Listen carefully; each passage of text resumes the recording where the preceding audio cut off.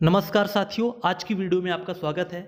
तो हम अपनी पिछली वीडियो सीरीज़ को कंटिन्यू कर रहे हैं और इसमें इंडियन कॉन्स्टिट्यूशन के नेक्स्ट पार्ट पर हम चर्चा कर रहे हैं और इसमें हम लोग इंडियन कॉन्स्टिट्यूशन का जो कॉन्स्टिट्यूशनल हिस्ट्री है, उस पर चर्चा कर रहे हैं। तो सबसे पहले यहाँ पर एक्ट ऑफ़ सेटलमेंट के बारे में डिस्कशन करेंगे।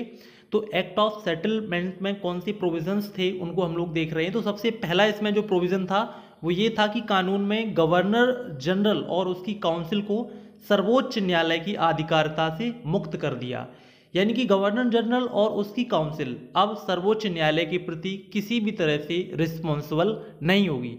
वो अपने निर्णय स्वतंत्र कर सकती है और वह सर्वोच्च न्यायालय के अधीन नहीं होगी। तो ये पहला इसमें प्रोविज़न किया गया था राइट दूसरा प्रोविज़न इसमें यह किया गया था कि इस अधिनियम के तहत कलकत्ता की सरकार को बंगाल, बिहार और उड़ीसा के लिए भी विधि बनाने की शक्ति दी गई। तो जैसा कि आप जानते हैं कि कलकत्ता की सरकार के अधीन ही बम्बई और मद्रास प्रेसिडेंसी ही भी पिछले अधिनियम में कर दी गई थी जो कि आपका रेगुलेटिंग एक्ट था। लेकिन अब इस अधिनियम के तहत उसको बंगाल, बिहार और उड़ीसा के लिए भी विधि बनाने की, यानी कि कानून बनाने की शक्ति कलकत्ता की सरकार को दे दी गई। तो इस तरह से हम देखते हैं कि कलकत्ता की सरकार को इस अधिनियम के तहत कुछ और अधिकार दे दिए गए, राइट? इसके बाद यहाँ पर नेक्स्ट इसमें प्रोविज़न जो था वो ये था कि इस अधिनियम के तहत प्रांतीय न्यायालयों की अपील को गवर्नर जनरल की काउंसिल में दायर करने का नियम बना। यानी कि जो प्रांतीय न्यायालय थे, जो प्रांत थे, राज्य थे, उनकी जो अपील थी पहले कहाँ पे होती थी? सर्वोच्च न्यायालय में कर सकते थे इसके पहले। लेकिन अब सर्वोच्च न्यायालय में अपील ना करके गवर्नर जनरल की जो काउंसिल थी, उसमें दायर करने का नियम बनाया गया। ठीक है? तो ये भी इसमें एक प्रोविज़न था। इसके बाद नेक्स्ट यहाँ पर देखते हैं, इस अधिनियम के तहत राजस्व संबंधी मामलों को सर्वोच्च न्यायालय की अधिकारिता से मुक्त कर दिया।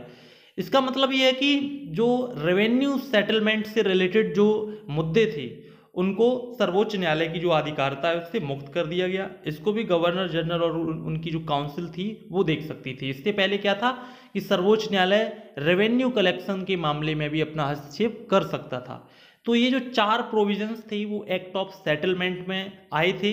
और मैं आपको याद दिलाना चाहूँगा कि इसमें जो पहले दो प्रोविज़न थे, वो बहुत ही इंपॉर्टेंट हैं। एग्ज़ाम के पॉइंट ऑफ़ व्यू से उनको आप तैयार कर सकते हैं। और मैं आपको ये भी बताना चाहूँगा कि इनके अलावा आपको कुछ भी याद नहीं करना है, कोई भी आपका पेड कोर्स हो, कोई भी आपका कोर्स हो, वो इससे अधिक पॉइंट नहीं बता सकता है। ना ही आपको इससे ज़्यादा समझने की ज़रूरत है, ठीक है?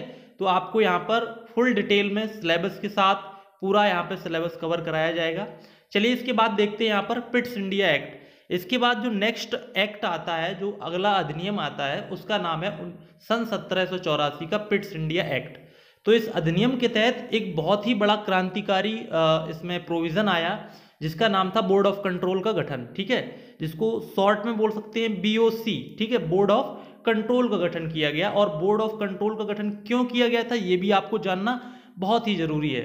बोर्ड ऑफ़ कंट्रोल का गठन कंपनी के जो राजनीतिक कार्य थी कंपनी किस किस राज्य पर हमला कर रही है, किस राज्य का एक्वायर कर रही है, अधिग्रहण कर रही है, किसके साथ मैत्री संधि कर रही है तो इस तरह की जो राजनीतिक गतिविधि कंपनी जो कर रही थी, उस पर नियंत्रण लगाने के लिए बोर्ड ऑफ़ कंट्रोल का गठन किया गया और बोर्ड ऑफ़ कंट्रोल को कंपनी को पूरी इंफॉर्मेशन देनी पड़ती थी।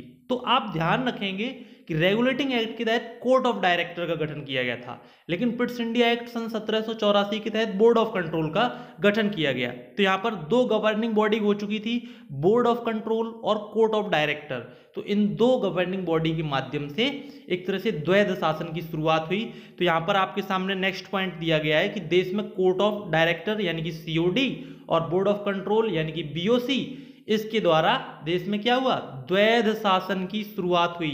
द्वैध शासन का मतलब यह है कि अगर ये कंपनी है तो कंपनी के द्वारा दो बॉडीज बोर्ड ऑफ़ कंट्रोल और कोर्ट ऑफ़ डायरेक्टर इनके माध्यम से कंपनी पर नियंत्रण हुआ और देश में उसी तरह से द्वैध शासन की शुरुआत हुई। पूरे हिस्ट्री में तीन बार द्वैध शासन आता है। एक तो बक्सर के युद्ध के बाद बंगाल में द्वैध शासन लगा हुआ था, जिसमें कि एक तरफ़ कंपनी शासन कर रही थी और दूसरी तरफ़ बंगाल के नवाब भी शासन कर रहे थे। दूसरा ये जो द्वैध शासन है, वो आपका पिट्स इंडिया एक्ट के बाद बोर्ड ऑफ़ कंट्रोल और कोर्ट ऑफ़ डायरेक्टर के द्वारा द्वैध शासन की शुरुआत हुई और जो तीसरी बार द्वैध शासन आया था, वो सन 1919 के मॉन्टेग्यू चैम्सफोर्ड अधिनियम के बाद प्रांतों में द्वैध शासन लगाया गया था, जिसके तहत प्रांतों में हस्तांतरित और आरक्षित विषयों के तहत शासन करने की बात की गई थी, ठीक है? तो वो हम आगे के अधिनियम में देखेंगे। तो अभी आप समझ सकते हैं कि बोर्ड ऑफ़ कंट्रोल और कोर्ट ऑफ़ डायरेक्टर के माध्यम से पूरी कंपनी एक तरह से नियमित हो गई थी, उस पर कंट्रोल किया जा चुका था, ठीक है? चलिए इसमें नेक्स्ट जो प्रावधान था नेक्स्ट जो प्रोविज़न था वो ये था, इस अधिनियम के तहत गवर्नर जनरल की परिषद की जो संख्या है, चार से घटाकर तीन कर दी गई। यानी गवर्नर जनरल के अतिरिक्त जो सदस्य उसकी परिषद में थे, वो पहले चार थे, लेकिन अब इसमें तीन कर दिए गए। बहुत ही इंपॉर्टेंट पॉइंट ये नहीं है। ऊपर के जो दो पॉइंट हैं, वो आप ध्यान रखिएगा राइट आई होप आपको ये सभी पॉइंट समझ में आ रहे होंगे। इसके बाद बात करते हैं, सन सत्रह सौ छियासी का एक छोटा सा अधिनियम आया था। उसमें कौन से प्रोविजंस थे उनको भी आप देख लीजिए। तो इस अधिनियम के तहत गवर्नर जनरल को विशेष परिस्थितियों में अपनी परिषद के निर्णयों को निरस्त करने का अधिकार मिला।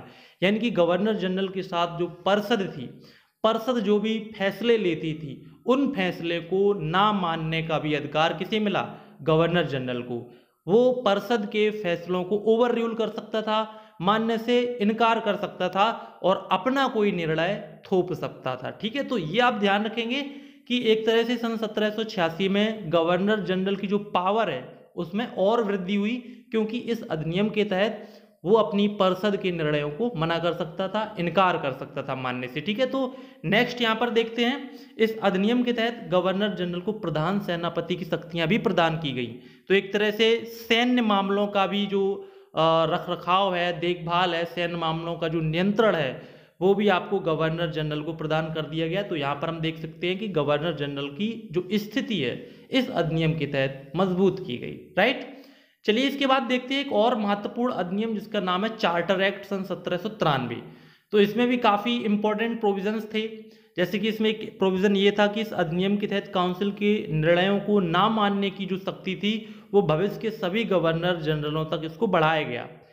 देखिए, पिछला जो एक्ट था 86 वाला 1786 वाला, उसमें क्या था कि उस समय के जो गवर्नर जनरल थे, उन्हीं के लिए वो नियम बना था कि वो परिषद के जो नियम थे, उनको मानने से इनकार कर सकता था। लेकिन 1793 के एक्ट के तहत अब भविष्य के जितने भी गवर्नर जनरल आएँगे, उन पर भी ये नियम लागू कर दिया गया कि वो भी परिषद के नियमों की अवहेलना कर सकते हैं। ठीक है? तो ये प्रोविज़न था। अगला जो महत्वपूर्ण प्रोविज़न था वो ये था कि इस अधिनियम के तहत कंपनी के व्यापार एकाधिकार को अगले 20 वर्षों के लिए बढ़ा दिया गया।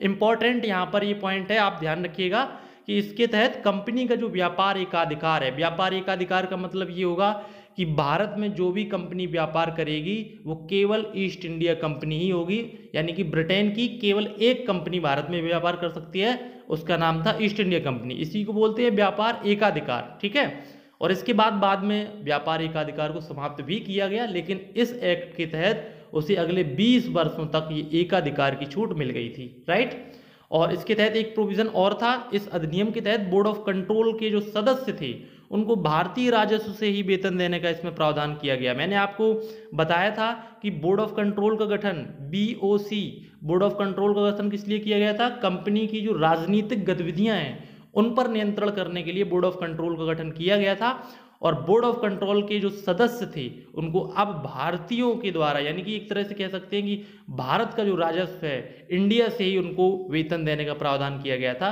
तो ये चार्टर एक्ट सन सत्रह सौ तिरानवे की महत्वपूर्ण विशेषताएँ थी। तो आज की वीडियो में यहीं तक हम देखते हैं, इतने छोटे छोटे अधिनियम थे, उनको हम लोगों ने इस वीडियो में कवर कर लिया है। आगे के वीडियोस में, आगे के जो भी प्रोविजंस होंगे, जो भी अधिनियम होंगे, उनको भी हम डिस्कस करेंगे। और आई होप इन सभी वीडियोस को आप अच्छी तरह से देख रहे होंगे। अगर आप इन वीडियो को अच्छी तरह से देख लेंगे तो मेरा मानना है कि आपको पॉलिटी में कोई प्रॉब्लम नहीं होने वाली है। इससे अधिक कोई भी पॉइंट नहीं आता है। इसके अलावा कोई भी क्वेश्चन आपसे नहीं पूछा जाएगा इन सिलेबस में, इन अधिनियमों के अंतर्गत। ठीक है? तो मिलते हैं नेक्स्ट वीडियो में। तब तक के लिए नमस्कार।